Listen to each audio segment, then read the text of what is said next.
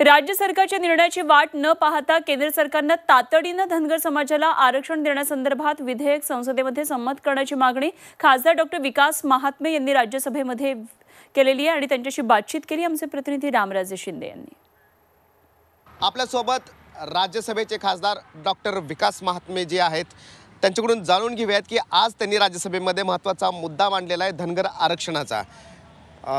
Doctor साहेब मला सांगा की आज पुन्हा एकदा आपण तुम्ही मुद्दा मांडलेला आहे पण यापूर्वी सुद्धा मुद्दे मांडलेले आहेत तुम्ही धनगर आरक्षण संदर्भामध्ये. आजच्या मुद्द्यामध्ये वेगळे पण काय?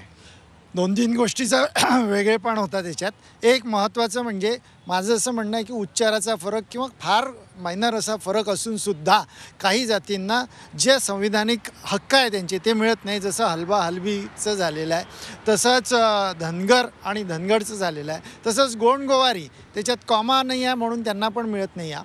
आणि धनगरांचा प्रश्न फक्त महाराष्ट्राचाच नसून हा पूर्ण यू पी बिहार झारखंड आणि बाकीच्या ठिकाणी पण मध्य प्रदेश कर्नाटका तामिळनाडू इथे सुद्धा हे प्रश्न निर्माण झालेले आहेत. बिल तयार करणं गरजेचं आहे.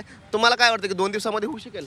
हा हे सहज होऊ शकतं कारण याच्या आधी बाकीच्या स्टेटसाठी पण अशीच बिल पा इंट्रोड्यूस झालेले आहे. त्याच्यामुळे बिल तयार करायचं म्हणजे खूप लांबलचक प्रोसिजर नाही आहे फक्त तिथे बाकीच्या जातीच्या ऐवजी धनगरांचं नाव लिहावं लागणार आहे. आणि दुसरं तुम्ही पाहाल जी एस डी एका रात्रीत लागू झाला एका रात्रीत नोटबंदी झाली लोकांना फायदा झालाच त्याचा. तर मग माझं असं म्हणणं आहे की हे सुद्धा बिल एका दिवसात येऊ शकतं आणि सरकारने मनावर जर घेतलं ते निश्चित होईल. च- त्यांनी म्हणजे सरकारने घोषणापत्रात लिहिलेलं होतं. तर त्यांनी ते पूर्ण करावं आणि हे बिल आणून हे पास करून घ्यावं.